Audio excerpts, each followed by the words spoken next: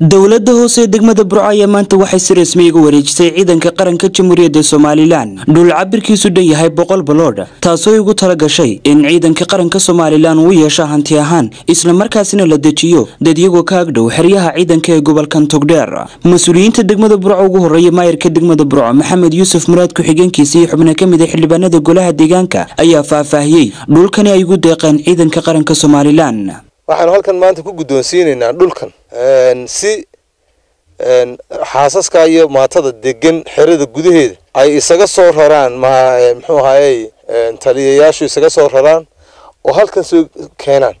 Islamarkaana biyihii iyo dadkaas waxay ku noolaan lahaayeenna halkan markaa looga sameeyo si ay markaa xeradu u noqoto meel bannaan. Hore waxaan uga rarnay dad lixdan qoys ayaan uga rarnay oo aanu guryo uga dhisnay xaafadda la idhaha twenty seven may.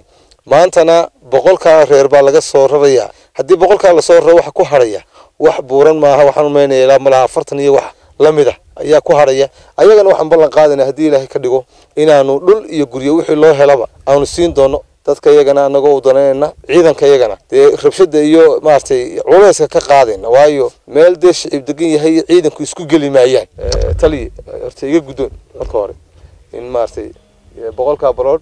Wixii kale aan de idinku biirinka marka la rarayana. Baabuurtii anagaa hayna shidaalka waxbaanu ka bixin doonaa. Haddii ilaahay ka dhigo biyogelinta waxbaanu ka bixin doonaa insha allah.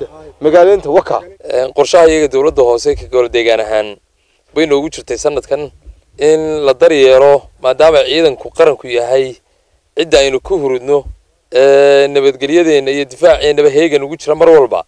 In la xasuusto dhallinyaradoodii xaasaskoodii iyo carruurtooda oo aaninana inaan guryo waaweyn ku jirin iyaguna aanay bannaanka dhexanta ku dilin. Sidaa daraaddeed baa golaha deegaanku fadhiistay isagoo maayirku guddoominayo shirka. Waxa aanu ku go'aansannay inaanu ciidanka militariga xaasaskooda iyo carruurtoodii dhulkaa ugu deeqno waxa kaloo aanu ballan qaadaynaa inaanu dhisitaankeedana ka qayb qaadan doono u bandhigi doono hay'adaha madaxa bannaan iyo kuwa dawligaba waxaanu leenahay si wacan ha looga faa'iidaysto si wacan ha loo ilaaliyo abaanduulayaal maadaama tacab badani arrinkan ku baxay oo aanu cayaar ku imanin. Ha kuna quustaan kuwa had iyo jeer dhaleeceeya. Horumarka dalka iyo degmada ka socda. Ha ku quustaan maanta in ciidankii qaranka iyo iyo maxay ahaydey iyo xaasaskoodiiba la daryeelayo oo ka dowlad hoose ahaan aan u diyaarinay. Waxaanu ku wareejinaynaa dhul bannaan oo si ay u dejiyaan dadka ku sugan goobaha xerada hareeraheeda markaa waa aragta waa taaganahay.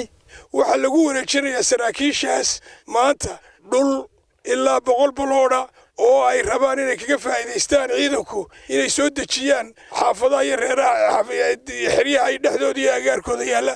Geesta kale iyaguna waxaa halkaasi ka hadlay abaanduulaha aagga bariyo sidoo kaleeto abaanduulaha qaybta labiyo tobnaad ee ciidanka qaranka somalilan.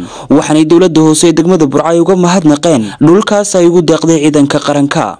Aad iyo aad baan ugu mahadnaqaynaa dhulkaa arkaysaan inagu wareejiyeen degmada burco ee uu hogaaminayo guddoomiyaha degmada ku-xigeenkiisa iyo xildhibaanadu annaga iyo abaanduulaha aagga oo halkan nagu hogaaminaya maxamed abakor iyo qaybta oo anugaan matalayo waxa weeyaan dhulkaas wuxuu nagu wareejiyey guddoomiyuuna siiyey marka hore laba sano ka hor labada kun iyo shan iyo tobankii bay ahayd. Dhulkaa ilaa intaa gacantay ku hayeen labadaas sannadood u dambeeyeyba gacantay ku hayeen. Taasi waxay caddaynaysaa inay si wanaagsan oo kalsooni iyo ciidan jacayl iyo wadaniyad leh ay noola shaqaynayaan bay caddaynaysaa taasu.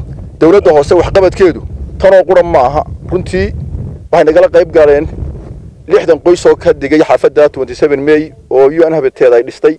Waxay hawl adag nagala gelin gebyanka xerada ku wareegsanay xagga dooxa xiga oo ay hawl badan ka galeen. Runtii ayay nagala qayb qaateen.